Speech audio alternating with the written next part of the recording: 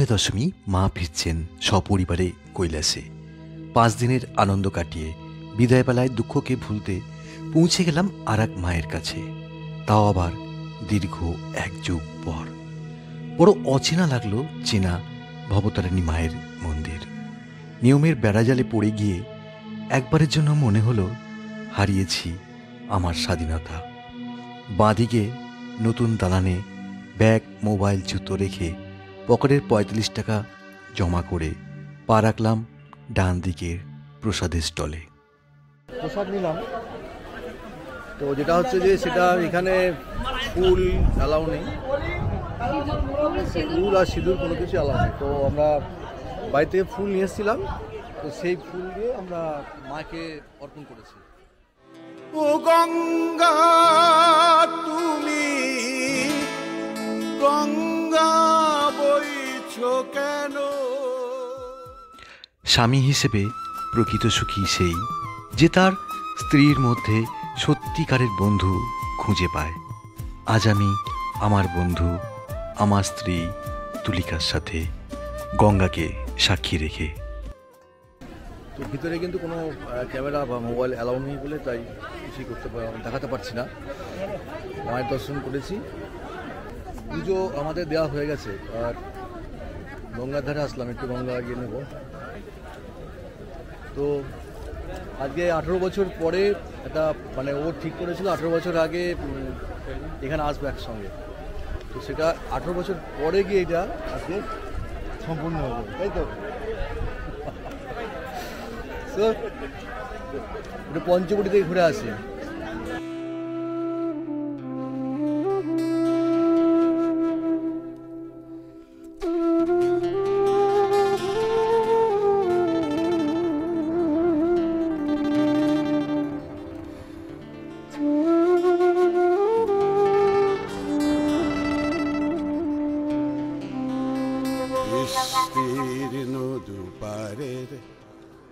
অসংখ্য মানুষের।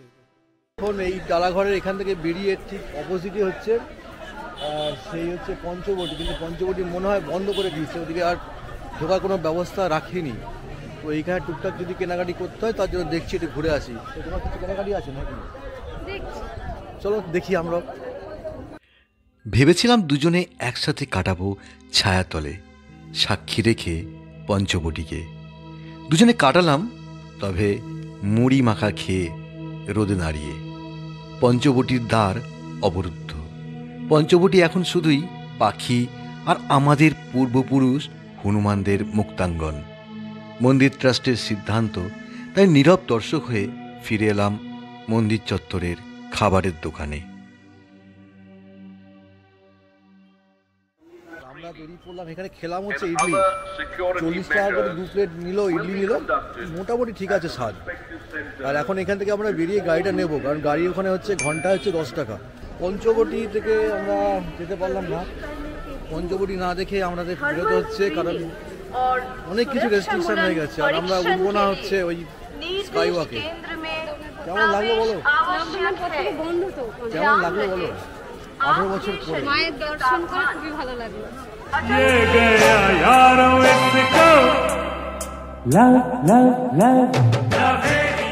গাড়িটা নিয়ে ওখান থেকে যাব হচ্ছে আদ্যাপীঠ।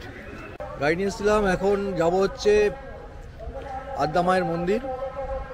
আর আমরা এই দক্ষিণেশ্বর মন্দিরকে বিদায় জানাচ্ছি দিয়ে গাড়িতে উঠছেন। বাইক নিয়ে টোটাল লাগল হচ্ছে আমার ষাট কিলোমিটার রাস্তা। আর এখন যাব আদ্যাপীঠ আদ্যাপীঠ করে যাব হচ্ছে বেলুর তো এখান থেকে আদ্যাপীঠ দেখাচ্ছে এক কিলোমিটার রাস্তা। চলো মন্দিরে গিয়ে কথা বলছি। চট্টগ্রাম থেকে সুতানুটি যা আজকের তিলোত্তমা কলকাতায়। কবিরাজি পড়তে এলেন অন্নদা ঠাকুর। কবিরাজি পাস করে প্র্যাকটিস করবেন, ঠিক করলেন।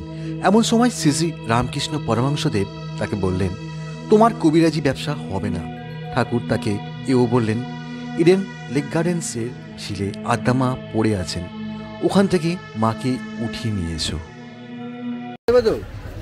না পড়ালে পয়সা নেব ওটা? আমার তোমার ইচ্ছা আমার কিছু নেই। টাটকা মালা দেখবেন? তো ওনার এই মালাটা পছন্দ হয়েছে, তো মাকে পড়াবেন।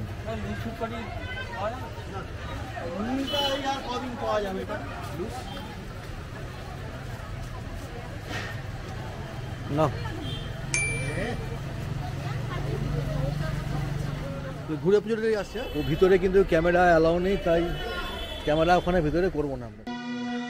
শ্রী শ্রী ঠাকুরের আদেশে অন্নদা ঠাকুর আঠারো ইঞ্চির কোষ্ঠী পাথরের আদ্যা মায়ের মূর্তিকে উদ্ধার করলেন। দিনটা ছিল দুর্গা নবমী। সেই রাতেই আদ্যামা অন্নদা ঠাকুরকে স্বপ্নে দেখা দিয়ে বললেন, কাল বিজয়া দশমী আমাকে গঙ্গায় বিসর্জন দিয়ে দিস। অন্নদা ঠাকুর আঁতকে উঠেছিলেন। আমার প্রিয় দর্শক, বন্ধুদের কাছে প্রশ্ন, সেই রাতে এক ঐতিহাসিক ঘটনা ঘটেছিল, যা আজও নিত্য পুজোয় পালন করা হয়। কি সেই ঘটনা? অবশ্যই কমেন্টস করে জানাবেন। কথা মতো মন্দির যদি বারো বছরের মধ্যে নির্মাণ সম্পূর্ণ হয়, তবেই মন্দিরে সাধারণ ভক্তদের প্রবেশাধিকার দেয়া হবে। তা হয়নি, তাই নাট মন্দির থেকেই মাকে দর্শন করার বিধি আরোপ হয়েছিল।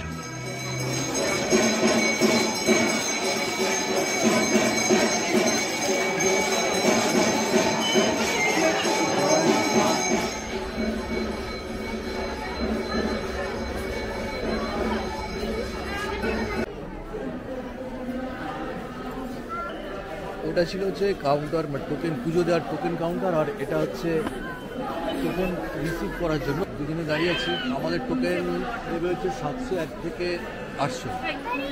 তো যে পুজো দিয়েছিলাম তার টোকেন নাম্বার হচ্ছে সাতশো তিরাশি। তো এখানেই পাবো। টোকেন নিয়ে, প্রসাদ নিয়ে বেরিয়ে যাব হচ্ছে বেলুর আর এখান থেকে বেলুর দেখাচ্ছে ওই সতেরো মিনিট। ও, সতেরো মিনিট বেশি লাগবে। ড্যাম ফ্যাম করতে পারে। আধ ঘণ্টা ধরে নিতে পারো। একটু চা খাব, চা খেয়ে আমরা বেরিয়ে যাব। নাম হ্যাঁ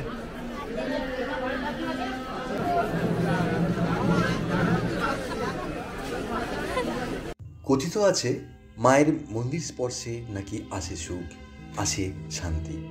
প্রবল জনসমাগমের মধ্যেও প্রথমবার আমাদের আত্মা মায়ের দর্শন পেয়ে আমরা আপ্লুত। এতক্ষণ ধরে ভিড়ের মধ্যে দাঁড়িয়ে দাঁড়িয়ে মায়ের সেবা করছিল। তোমাকে লাইনে দাঁড় করানো উচিত। আদ্যা মায়ের সারাদিনে তিনবেলা আরাধনা হয়। আমাদের সৌভাগ্য ছিল তাই মায়ের দর্শন পেয়ে গেছি। বেলুড়ে ভোগ খাব তাই ভোগের কুপনের লাইনে ভিড় বাড়ায়নি। আমরা এখন বেলুড়ের পথে। আমরা যখন বেলুর মঠের পথে তখন সাক্ষী থাকল বিবেকানন্দ সেতু। প্রচুর নামি ইউটিউবারের ভিডিওতে বাইক নিয়ে এই ব্রিজ পার হতে দেখেছি। আমার স্বপ্ন বাস্তব হলো, এই প্রথমবার নিজের বাইকে এই ব্রিজ পার হচ্ছি। দু হাজার আটশো সাতাশি ফুট মাল্টিস্প্যান স্টিল ব্রিজ উনিশশো বত্রিশ সাল থেকে পরিষেবা দিয়ে আসছে। পাশেই নিবেদিতা সেতু, যদিও এই ব্রিজে বাইক যাওয়ার অনুমতি নেই। দু সাল থেকে পরিষেবা দিয়ে আসছে। জিটি রোডকে বিদায় জানিয়ে আমরা দুজনে পৌঁছে তো গেলাম বেলুর মঠ, কিন্তু ঘড়িতে তখন এগারোটা পঁয়তাল্লিশ মিনিট। আমরা পনেরো মিনিট লেটে পৌঁছলাম, যেখানে বেলুর মঠের প্রবেশদ্বার এগারোটা তিরিশ মিনিটে বন্ধ হয়ে গেছে।